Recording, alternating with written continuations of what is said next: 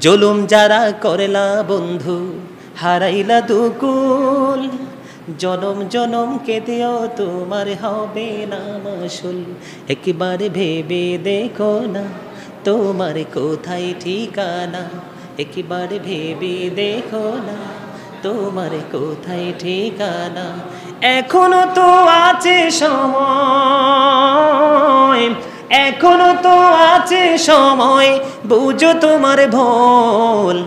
জনম জনম কে দিও, তোমার হবে না মাসুল। একবার ভেবে দেখো না, তোমার কোথায় ঠিকানা। একবার ভেবে দেখো না, তোমার কোথায় ঠিকানা। এখনও তো আছে সময়, বুঝো তোমার ভোল। জনম জনম কে দিও তোমার হবে না মাসুল। আসল নকল বুঝবি বন্ধু, হারিয়ে সব কিছু। আলো যখন যাই রে, চলে যায় না দেখা কিছু। ঠিক কেন বলেন? আপনার জীবন চলে গেলে তবা করে লাভ হইব? এইটাই বুঝাইছি। কথা কি বুঝতে পারছেন? কথা বলেন। কথা কি বুঝেন নাই? তা আমি আপনাদেরকে বিনীতভাবে অনুরোধ করব। আপনারা জুলুম, অত্যাচার ফেতনা, ফাসাদ সমাজের মধ্যে কলহ সৃষ্টি করা থেকে দূরে থাকবেন। একজন অন্যায় করলে তাকে আদর দিয়ে, ভালোবাসা দিয়ে, মায়া দিয়ে অন্যায়ের পথ থেকে তাকে দূরে সরিয়ে আনার চেষ্টা করবেন। একবার, দুইবার তৃতীয়বারে যদি দেখেন না সে আপনাদের কথায় আপোষ করছে না, তখন আপনার তার তার সাথে সবাই সামাজিকভাবে, কঠোরভাবে তার সাথে মোকাবেলা করবেন, তাকে বয়কট করবেন।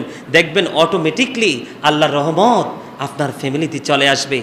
রাসুলকে প্রশ্ন করা হলো, ইয়া রাসূল আল্লাহ ইয়া হাবিব আল্লাহ নবী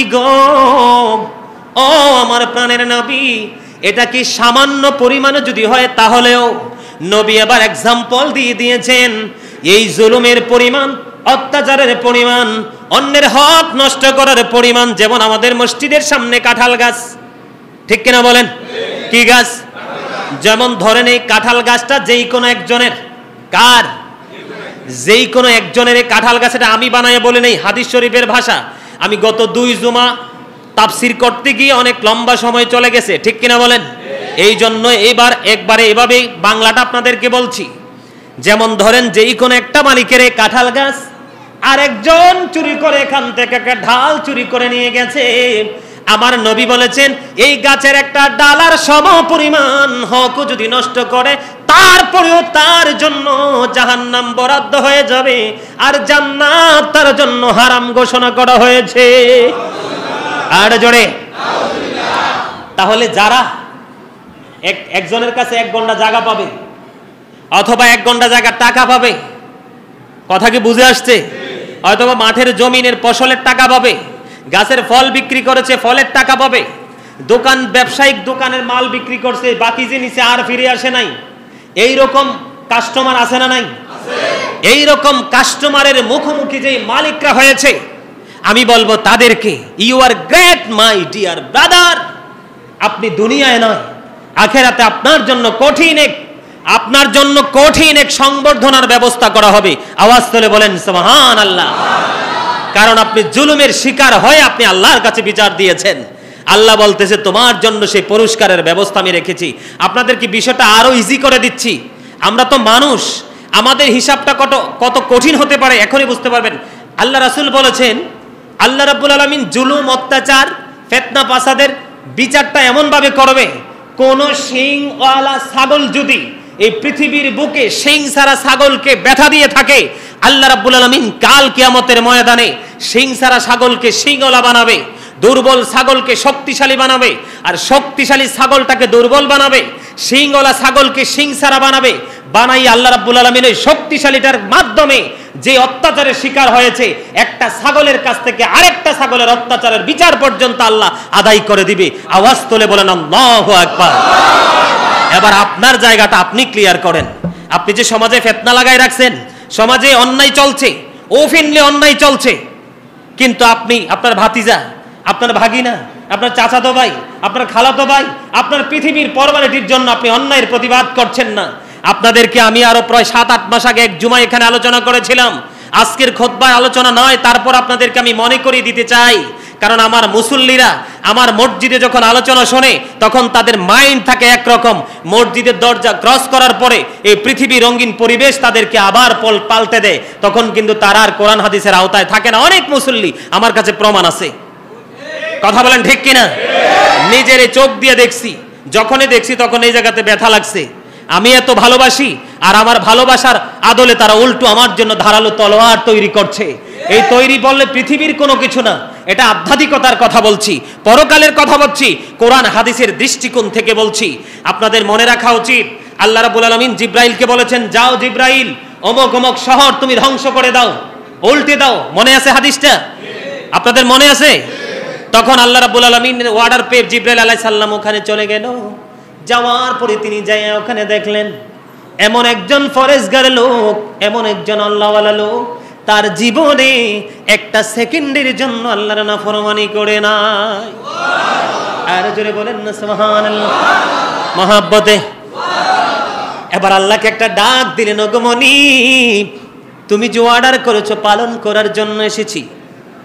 এই হাদিস শরীফটাই খোদবার মধ্যেই আছে যে আমি তোমার অর্ডার পালন করার জন্য এসেছি, কিন্তু এমন একজন মুমিন, এমন একজন ফরেজগার জীবনে একটা মুহূর্তের জন্য তোমার নাফরমানি করে নাই। আমি কি তাকে সহ ধ্বংস করে দিব? আল্লাহ বলেছেন তাকে সহ ফিনিশ করে দাও। আজ তাহলে কন্যা নাউজুবিল্লাহ। ওমা এটা হাদিস শরীফের কথা মিথ্যা না তো। আমার বানানো কথা না। এত ফরেজগার তারপরে বলছে তাকে সহ শেষ করে দাও। তার মানে কি? আল্লাহ রাব্বুল আলামিন জানিয়ে দিয়েছেন তার মানেটা হলো সে নামাজ পড়েছে, আল্লাহর গোলামি করেছে, আমার ডাক শুনেছে সত্য। কিন্তু তার চোখের সামনে অহরহ অন্যায় কাজ হয়েছে, কোনোদিন সে প্রতিবাদ করে নাই। জোরে বলেন না, নাউজুবিল্লাহ। আর জোরে। তাইলে নামাজ পড়লে আল্লাহ পাওয়া যায় না। আপনি অন্যায় না করলেও বাঁচতে পারবেন না, যদি অন্যায়ের প্রতিবাদ না করেন। ঠিক কিনা বলেন? এখানে আমি যদি হেসা কথা কই, আমার অনেক মুসল্লির বা মুখ কালা করে। কথা বলেন। আমার কি কিছু করার আছে? আমার এখানে হাত আছে? ওয়াজ যেটি আজকে না আমি করছি? আমার, আমি চলে যাব, আমার পরে যারা আসবে তারা এই ওয়াজগুলো করবে। কারণ এই ওয়াজ তো আমার আল্লাহ করেছে। ঠিক কিনা বলেন? ওয়াজ আমার আসল করেছে। এখানটাকে এড়িয়ে চলার কোনো সুযোগ নাই। কথা বলেন ঠিক কিনা? বন্ধুরা আমার আমার নবী অত্যন্ত চমৎকার ভাবে হাদিস শরীফ বর্ণনা করেছেন। ছোট্ট একটা হাদিস। বোখারি এবং মুসলিম শরীফের মধ্যে এসেছেন। রাসূল বলেছেন, অকাল রাসূলুল্লাহ সাল্লাল্লাহু আলাইহি ওয়াসাল্লাম, লা ইয়ারহামুল্লাহু মান লা ইয়ারহামুন নাস। মুত্তাফাকুন আলাই বুখারী এবং মুসলিম শরীফের মধ্যে এসেছে হাদিস কানা? আমার নবী বলেছেন, যেই ব্যক্তি মানুষের প্রতি দয়া করে না, আল্লাহ রাব্বুল আলামিন তার প্রতিও দয়া করে না। কি করতে হবে? যখন দয়া করার প্রয়োজন হবে, দয়া করতে হবে, মায়া করতে হবে। আবার যখন অন্যায় করবে একজনে যদি না পারে, দশজন মিলে অন্যায়ের প্রতিবাদ করতে হবে, ঠিক কিনা বলেন? আপনার যারা অন্যায় করছে, আমি বলব, কোরআন হাদিসের দৃষ্টিকোণ থেকে তারা কোরআন হাদিসের বিপক্ষে অবস্থান নিচ্ছে। কথা বলেন?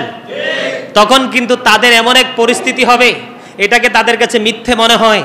তখন যখন তাদের দেহ থেকে আত্মাটাকে বের করা হবে তাদের বডি কিন্তু পৃথিবীতে থাকবে দেহটা পৃথিবীতে থাকবে।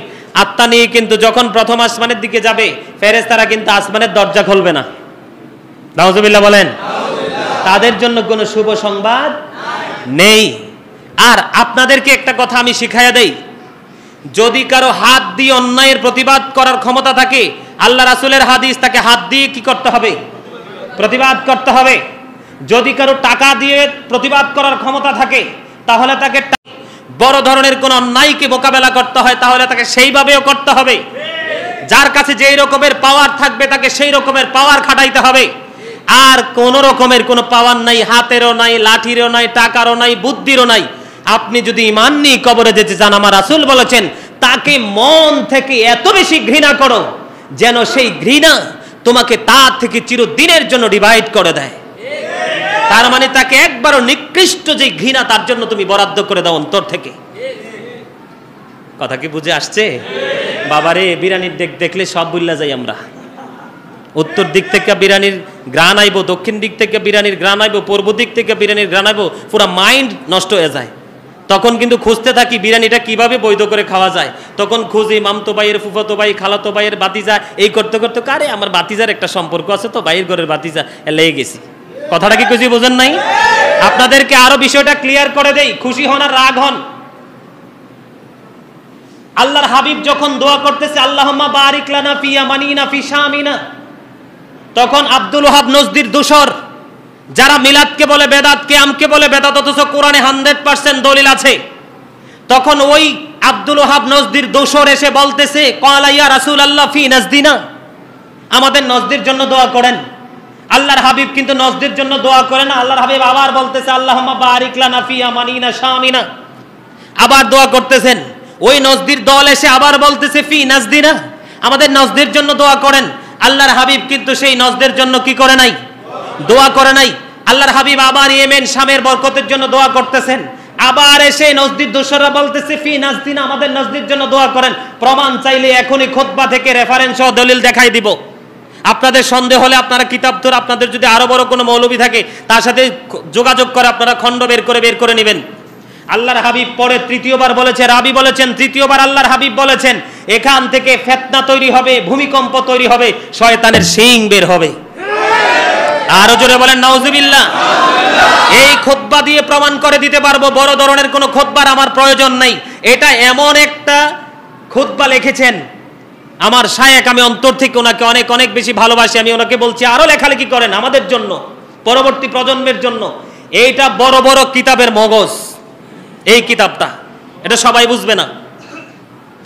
এই খুতবার মধ্যে আল্লাহ রাসুল বলেছেন ও ইয়াকুম, ও ইয়াহুম, তোমরা তাদের থেকে দূরে থাকো স্টে ওয়ে ফ্রম দেম ও ইয়াহুম, তোমরা তাদেরকেও দূরে রাখো।